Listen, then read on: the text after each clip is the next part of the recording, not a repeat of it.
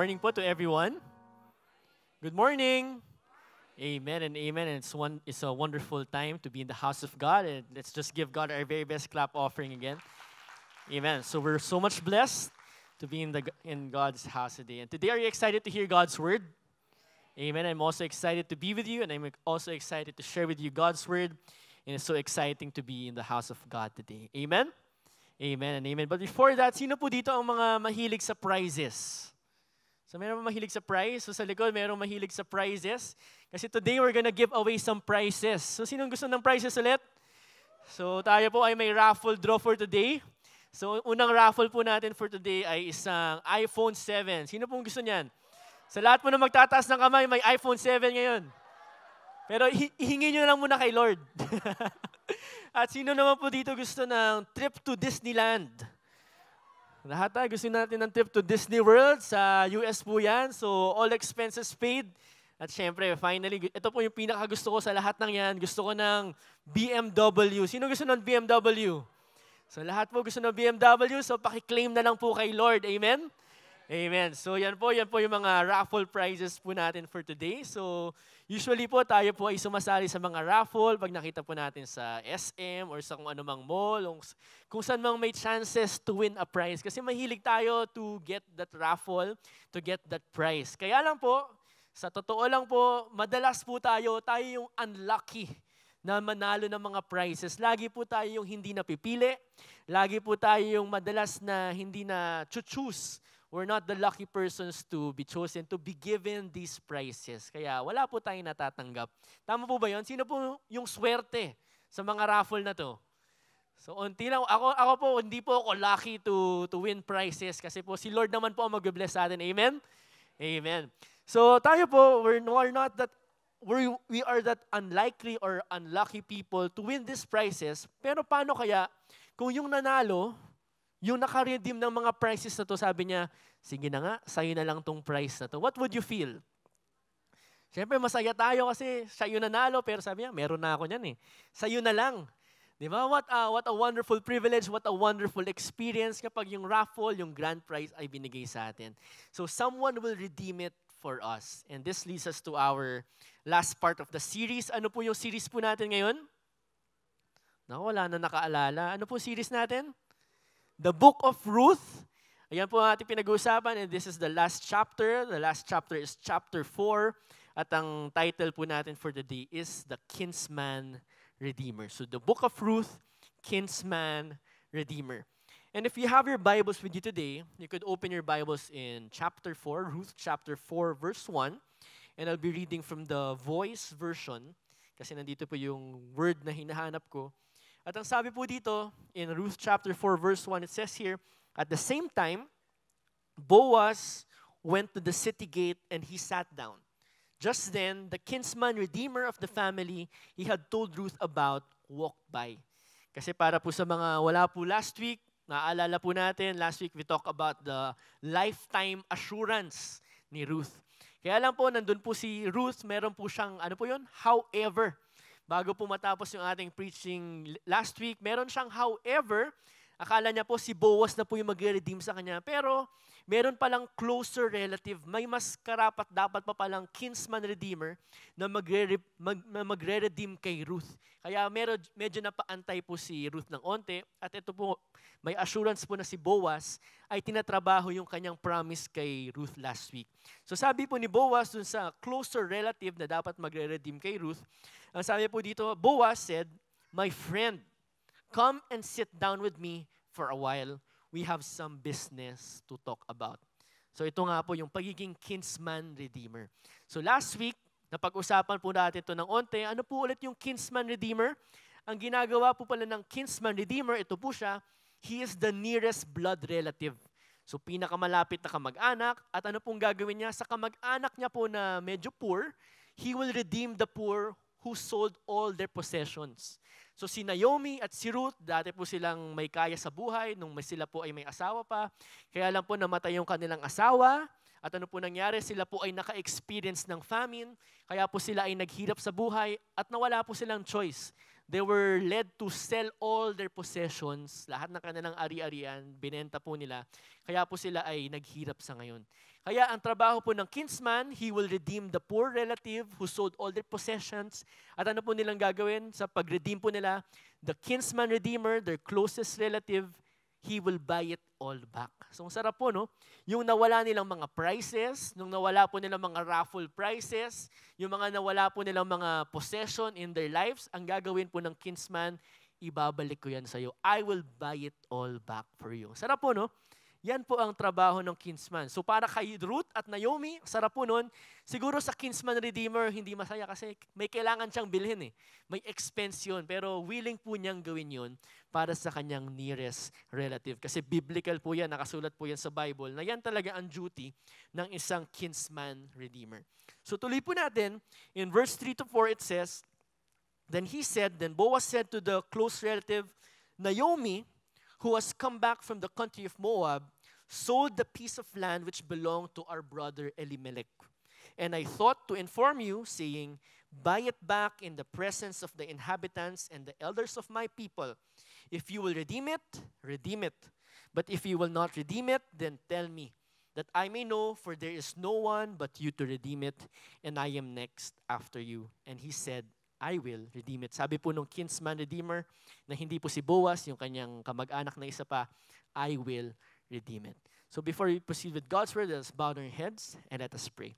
Lord Jesus Christ, Lord God, we invite your presence to be in this place. Lord God, we don't want to do this by might nor by power, but only by your Spirit. Lord, we, Holy Spirit, we ask you, Lord God, to interfere. Holy Spirit, Lord God, come in this atmosphere. And Lord God, let it just be you, Lord God, who will speak through my life, Lord God, today. Let it be just you, Lord God, who will speak through our hearts, Lord God, through our minds right now, that we may receive your beautiful word for our lives today. And Lord God, thank you for this wonderful day. And we ask for your anointing. We ask for your wisdom. We ask for your favor. And we claim the victory. And we give you back all the glory and all the praise in the mighty name of Jesus Christ. Everybody shout, Amen and Amen. Sige po, palakpakan po natin ang ating Panginoon. Hallelujah. So sabi po nung kinsman, sige, payag ako to redeem Naomi.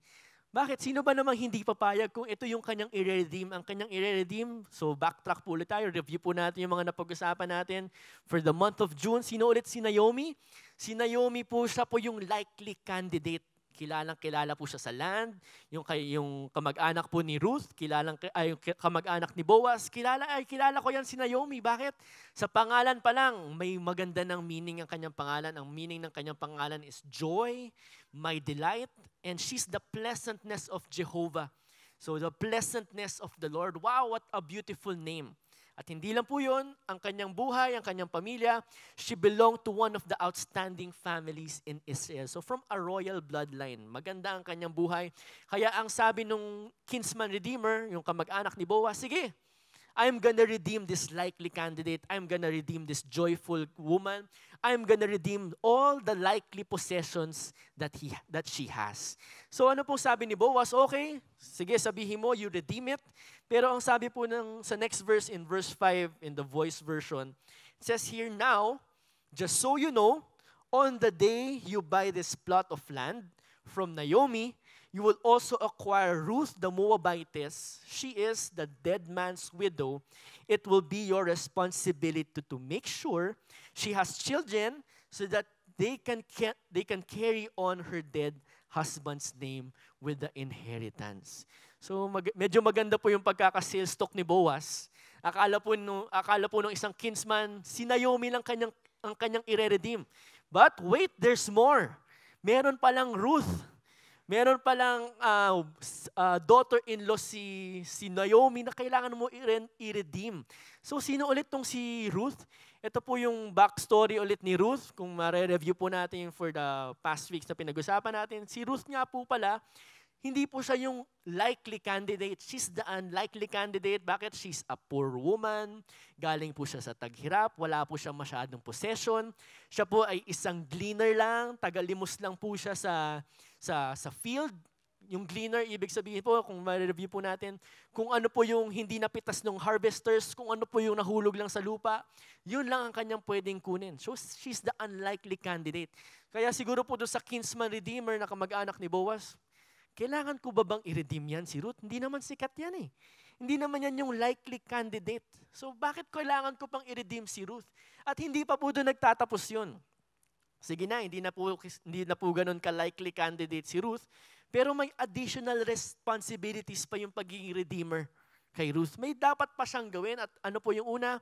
Ang una po niyang kailangan gawin is to marry her. Kailangan daw pong pakasalan si Ruth. So pakitanong nga yung katabi mo, handa ka na bang magpakasal?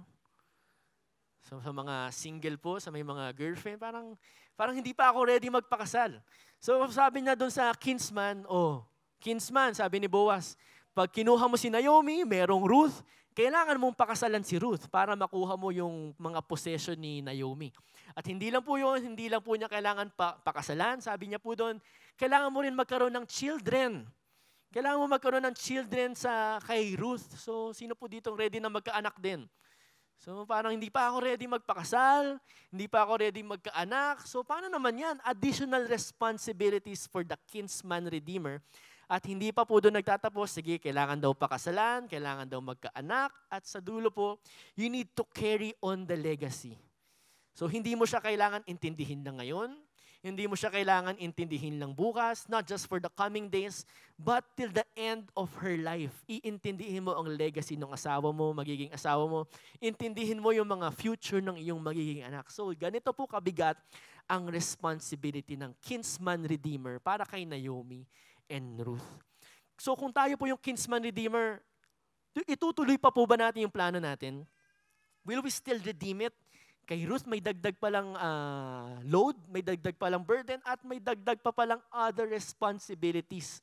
Kaya ano po sabi nung kinsman redeemer, yung close relative, in verse 6 it says, And the close relative said, Naku, Boaz, hindi mo naman sinabi, may, wait, there's more ka pa ba lang? Sabi mo lang, si Naomi.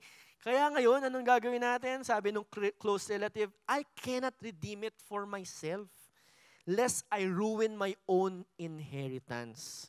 You redeem my right of redemption for yourself, for I cannot redeem it. So nagbago po ng isip yung close relative. Ay, may kasama palang Ruth. Ay, meron palang uh, additional responsibilities. At sabi niya, hindi pwede kasi baka masira ko yung aking sariling inheritance. Ibig sabihin, yung, yung ano kasi na yun, yung kinsman redeemer na yun, may sarili siyang pamilya, may sarili siyang asawa, may sarili siyang mga anak. May, may iba pang iintindihin, di yung inheritance ko mahahati. So ano mangyayari sa akin? Babalikan po natin yung pinag-usapan natin last time.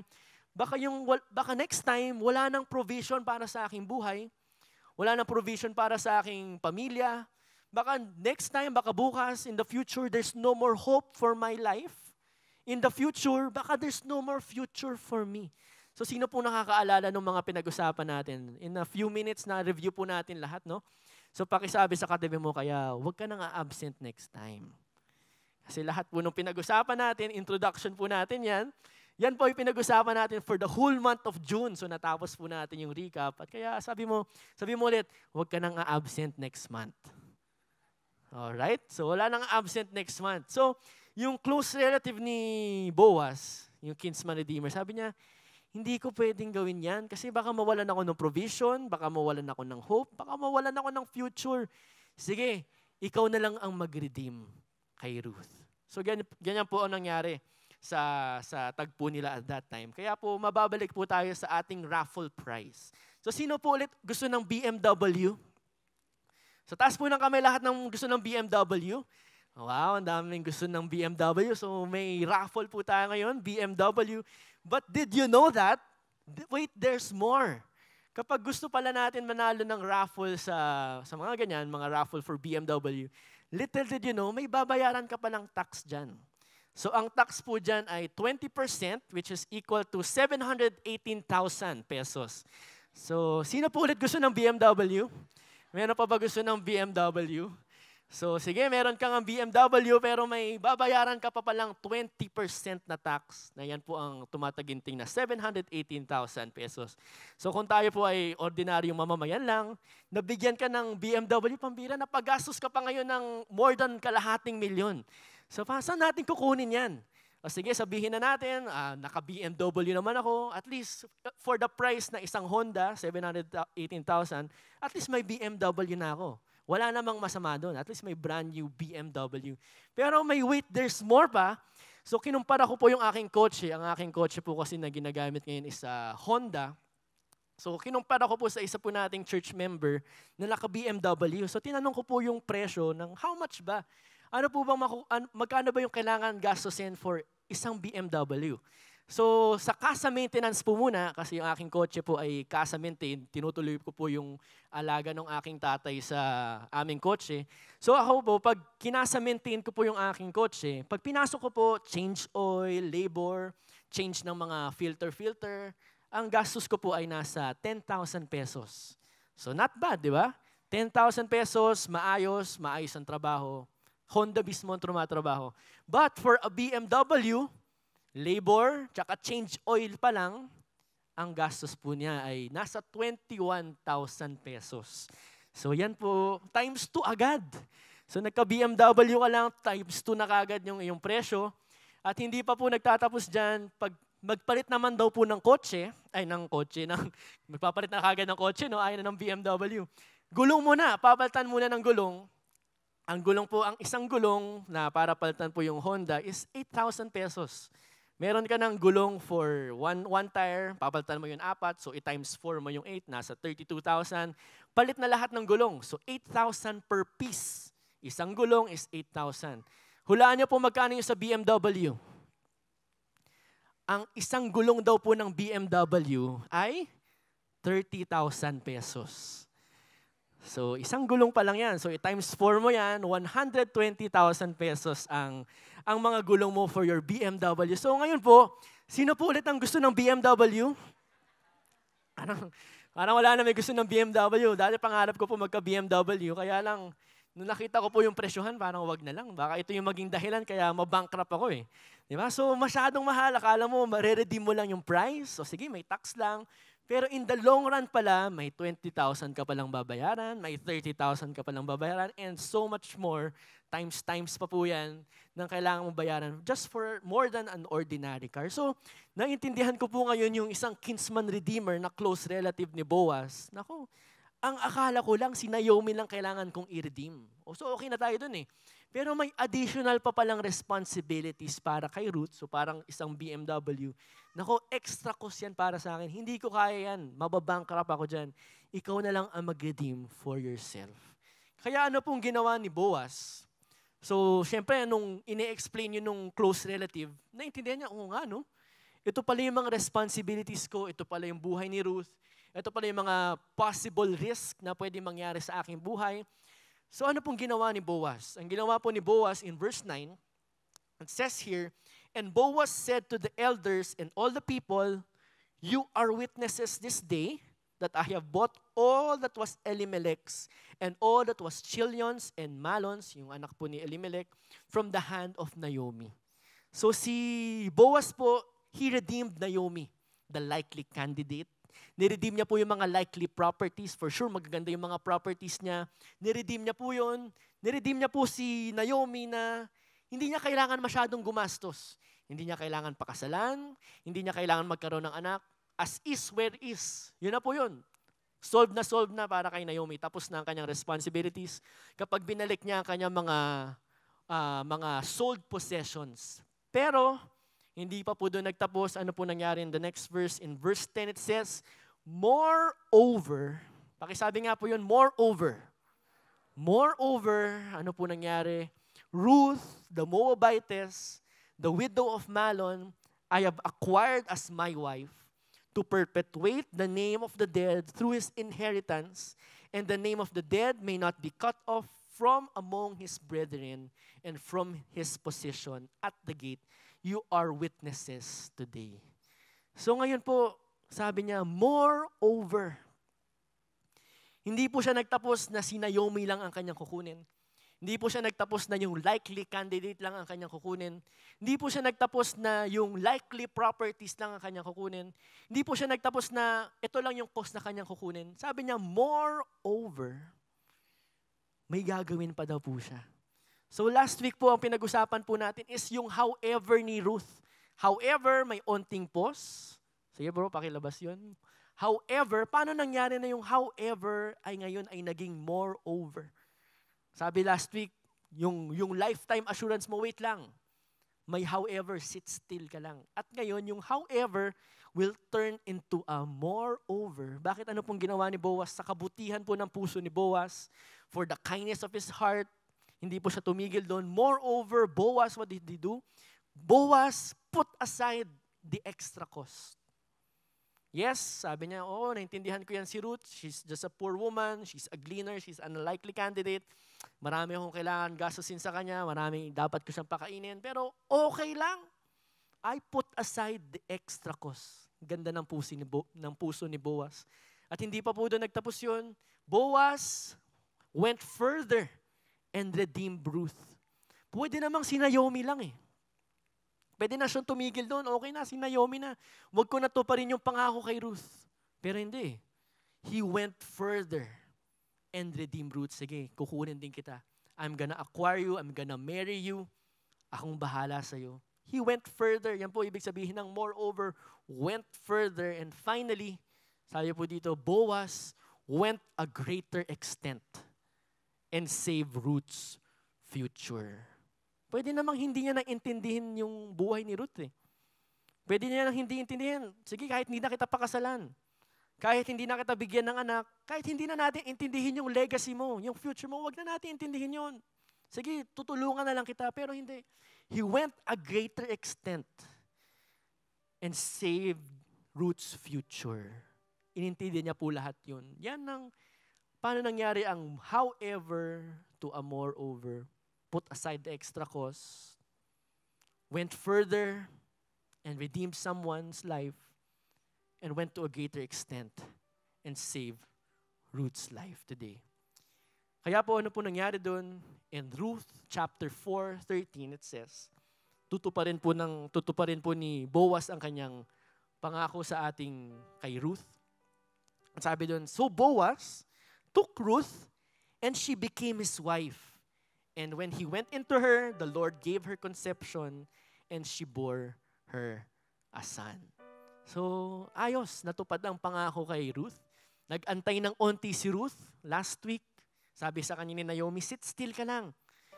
Huwag ka mag-alala, tatrabahuhin ni Boaz yan. Si Boaz ay may magandang puso, si Boaz ay may magandang plano.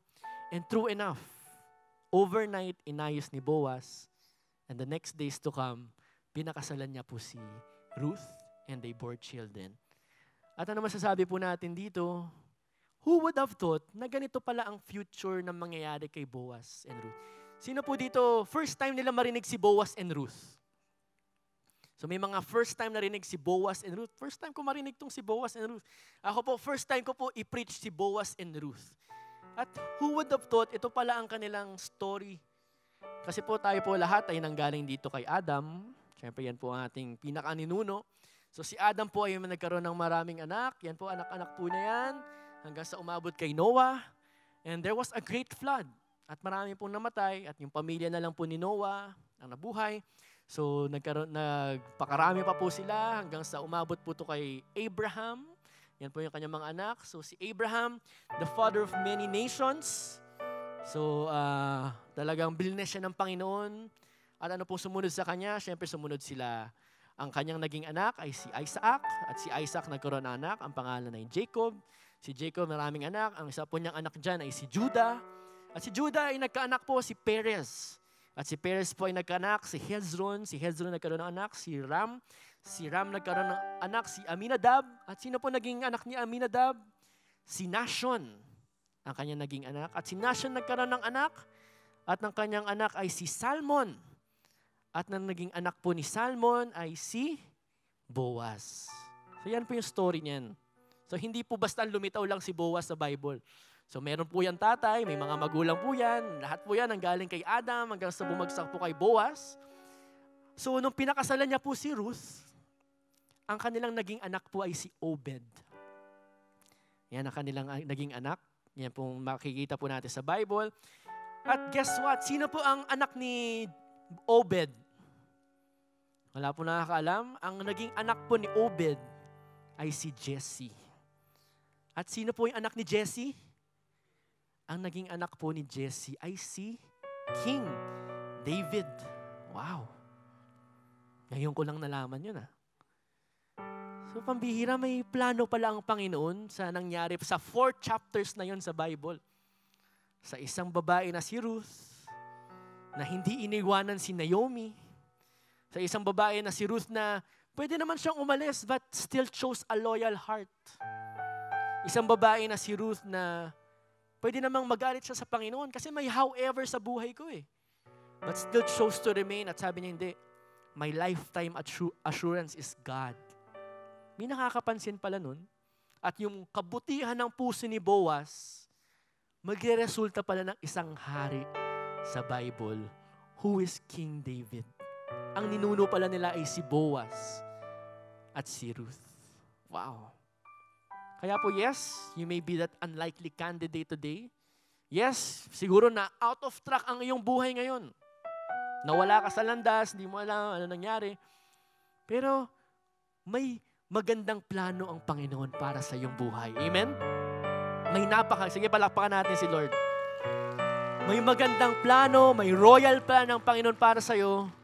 Who would have thought na sa apo-apo mo, may lalabas palang hari ng isang bansa.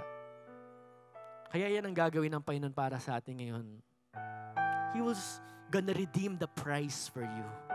Aayusin niya yan lahat sa iyo at i-align ka niya sa magandang plano niya para sa buhay mo ngayon. Amen? Amen. Hallelujah. At hindi po nagtatapos dyan, syempre, pag tinuloy pa po natin ng genealogy na yan, marami pong anak si King David, ayan po yung kanyang mga anak, mga hari po ng Bible. Ano na po ang dulo niyan? Ito pala ang linya niyan. Sa dulo, may lalabas na Savior. At yan si Jesus Christ. From Ruth and Boaz, lumabas si David. At tinuloy-tuloy po yun. Yan pala ang storya ng genealogy ni Jesus Christ. Ganda po ng storya, no? Pwede ba natin palakpakan si Lord para dyan? Ginamit ang buhay ni Boaz at ni Ruth. May Haring David, may Jesus Christ in their lineage. Amazing. A royal plan of God just happened. Who would have thought na ganun pala ang mangyayari sa kanilang buhay? What a beautiful story. What, what a redemption. What a legacy. Carry on the legacy ng Panginoon para sa atin. At ngayon po, paano tayo makaka-relate dyan? Sino ba tong Jesus Christ na to? Ano ba yan? Bigla na lang ba sumulpot yan? Hindi, may magulang pala si Jesus Christ eh. May may ancestors pala si Jesus Christ. At anong silbi ni Jesus Christ para sa atin ngayon?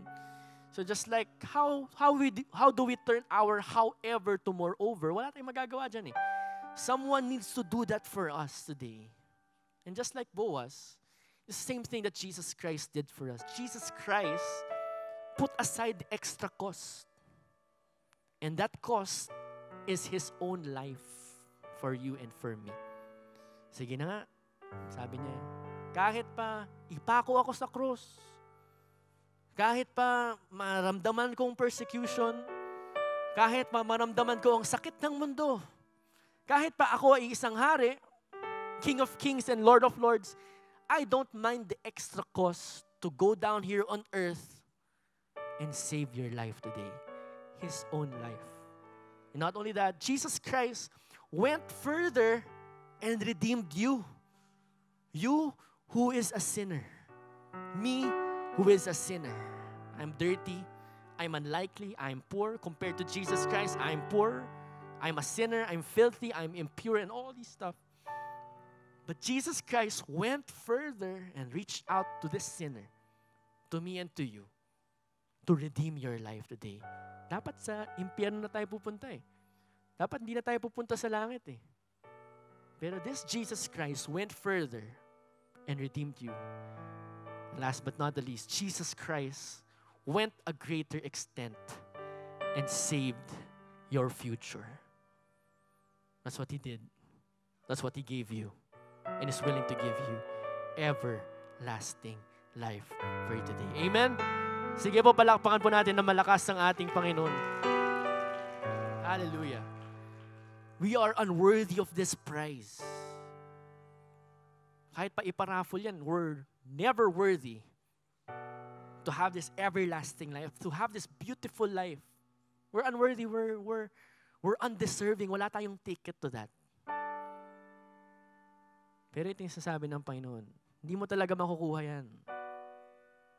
Pero ako yung magbibigay sa inyan. Because I am your Redeemer. Jesus Christ is our kinsman Redeemer. And today He's willing to give you that price. He's willing to redeem your life again. He will be the one to save you. He will be the one to redeem you today. He will be the one to give you the life you deserve. Siya lang po ang may kayang gumawa niyan to give you that new life that He has for you today. And today, as the worship team comes here in front, siguro ikaw yung tao na church member dito na medyo na off na wala sa track. Intentionally or unintentionally, siguro in the past years, ito po yung buhay na pinili natin, buhay na hindi nakakalugod sa Panginoon. O siguro tayo po ay nandito sa church, lumaki po tayong Christian, pero out of the circumstances of this world, medyo nalihis po tayo ng landas. Nagkagulo-gulo po yung buhay natin. Kaya sa tingin po natin ako, magkakaroon man ako ng prize, marirewardan man ako, ako, parang hindi na possible yan. Pero there's a message of hope today. There's a message of love today. There's a message of joy today. And God says, Jesus Christ says, I am your Redeemer. I will redeem your life today. At ano gagawin niya? I'm gonna put you back on track in a royal plan. Pambira, baka may lumabas na David sa lineage mo. May hari pa lang lalabas, may royal bloodline pa lang lalabas. At ang kailangan lang nating desisyonan ngayon, kung sasabihin natin, Lord, gusto kitang maging redeemer ng buhay ko. Ito yung buhay ko. I want to be redeemed today. I want to claim that price. I want to receive you in my life today. So if that's your prayer today, saying, Lord, I want to get back on track. I want my life to be redeemed and receive the prize from heaven. If that's your prayer, as the worship team sings here in front, you may come here in front and we will pray for you. Hallelujah. Hallelujah. Lord God. Holy Spirit, Holy Spirit, just move in our midst today. We're crying out for your movement, Lord God, in this church. This is not just a structural church, Lord God, but this is a home. A home for your people, Lord God. A family, Lord God, today. And Lord God, the half of the year is almost over, Lord God. But Lord God, our lives doesn't end here. It's just the beginning. Lord God, the second half of this year, Lord God, you're gonna do amazing things through us. You're gonna do mighty things, Lord God, in the lives who are here in this church. Hallelujah, Lord Jesus Christ. You're gonna do amazing things, Lord God, in this church, in this family, in the next half of this year, Lord God. And we just let you redeem this church, redeem this city, redeem these families today. And you will be the one, Lord God, to save us. You will be the one to redeem us. You will be the one, Lord God, to give us the price. Hallelujah, Lord God. Hallelujah. Thank you, Lord Jesus. And for those who came here in front, you just raise up your hands to God as an act of surrender. Telling God, Lord, yes, Lord, redeem my life today.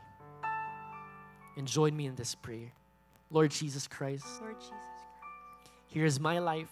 Use my life. You know my past. You know my past. You know my down moments. You know my down moments. You know the days You know the days that I got out of track. that I, that I got out of track. And Lord God, And Lord God, here I am here I am at your altar at your altar, Lord, with much humility and saying, and saying, Redeem my life today. Redeem my life today. I want to receive your price, I want to receive your your everlasting life, everlasting, your wonderful future your wonderful for my life, for my for my church, for my church, for my future. for my future. And in my own hands, my own hands, nothing happened. nothing. But in your hands, in your hands, Lord Jesus Christ, Jesus, my whole life, my whole life, whole future whole future will be redeemed will be redeemed in the name in the name of Jesus Christ. Hallelujah. Just give God our very best clap offering. Hallelujah. Hallelujah. Hallelujah. And today, before we leave, could we raise up our tithes and offering to our God? Hallelujah, Lord Jesus Christ. Lord God, these tithes and offering, Lord God, ayaw namin to i-reserve para lang sa aming sarili. Lord God, but we want to lift it all up to you. Lord Jesus Christ, here is our lives, Lord God. Here's our finances, Lord God. Lord God, our redemption, Lord God, doesn't hold on to money, Lord God. It will not ever redeem us, Lord God. There's always a price for everything. But Lord God, in your name, Lord Jesus Christ, sky is the limit. You're a big God. You're bigger than our problems, Lord God. You're bigger than our finances. You're bigger than our financial crises, Lord God. And Lord God, we just lift it up all to you It's an act of surrender, telling you, Lord God, it's it will be you, Lord God, who will redeem our lives today. And Lord Jesus Christ, thank you for this wonderful day. Thank you for this wonderful word. Lord God, thank you for allowing us to finish one book of the Bible, the book of Ruth. And in these four chapters, Lord God, you've spoken to our hearts. You've spoken, Lord God, to our family. Lord God, you've spoken to this church, our home, Lord God. And Lord God, in the next half of this year, you're gonna do amazing things through us and we claim that redemption. Redeem that price, Lord God. May gagawin ka sa aming simbahan in this city from this day forward. Lord God, salamat sa araw nito, Lord God. Salamat, Lord God, sa mga buhay na nandito ngayon, Panginoon. And Lord God, may you give them that heart, Lord God, to invite their families, to invite their friends, Lord God, to be here and experience your love, experience your goodness, experience your kindness in our lives today. We love you so much, God, and we claim the victory and we give you back all the glory and praise in the name of the Father, of the Son, of the Holy Spirit. Amen and amen. God bless everybody. Have a blessed day ahead. Have a blessed